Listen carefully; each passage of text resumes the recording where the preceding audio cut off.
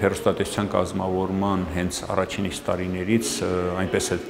դասավորվել, որ իմ հարաբերությունները այսօրվա հերոստատեսության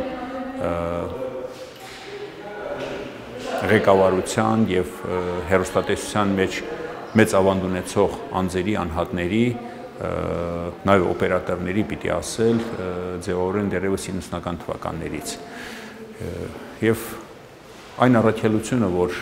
դրված էր Արցախի հանրային հերոստատեսության վրա, կարծում եմ դեռևս ամբողջական չի իրականացվել, որտեղ հանրության մեջ ստեղծված այսօրվա կարծիքը եւ հանրության մեջ շրջանառվող այն տեսակետները, որ Արցախի հանրային հերոստատեսությունն դեռևս ունի անելիքներ, կարծում եմ տեղին է, բայց այնուհանդերձ պիտի ասել այն առաքելությունը, որ դրված էր Արցախի հանրային հերոստատեսության արչև, հիմնականում իրականացվել։ Մեր համար Արցախի հանրային հերոստատեսությունը միայն ներքին սպառման խնդիրների առաքելություն չէ։ Արցախի հանրային հերոստատեսությունը պետք է իրականացներ եւ իրականացնում է այն հիմնական քարոշչական արտաքին քաղաքականությունը, որի անհրաժեշտությունը այսօր ունի Արցախը այսօր նաև այդ սպասելիքները ունի յուրաքանչյուր սփյուռքահայ եւ նաև Արցախի հիմնահարցի եւ ընդհանրապես Արցախով հետաքրքրված շահագրգիռ բոլոր կողմերը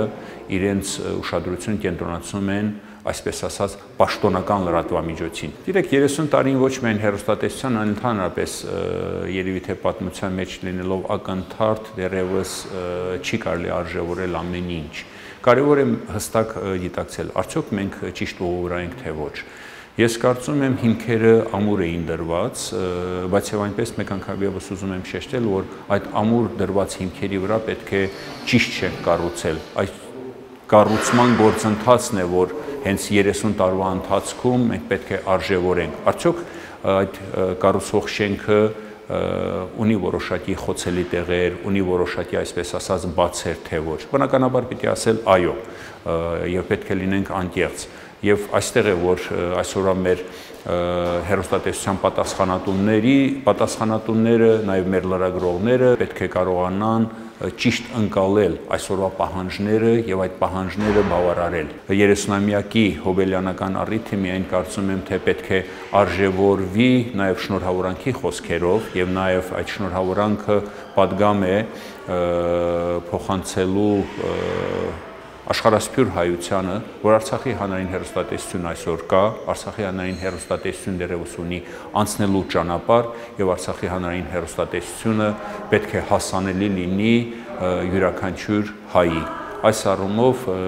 ես ուզում եմ հենց այդ կոնտեքստում շնորհավորանքի խոսք փոխանցել Արցախի հանրային հերոստատեսության ողջ ազնագազմին եւ նաեւ մեր հանրությանը, որտեղ հենց հանրային հասկացողությունը սա ենթադրում է, որ հերոստատեսություն մեր ժողովրդի սեփականությունն է։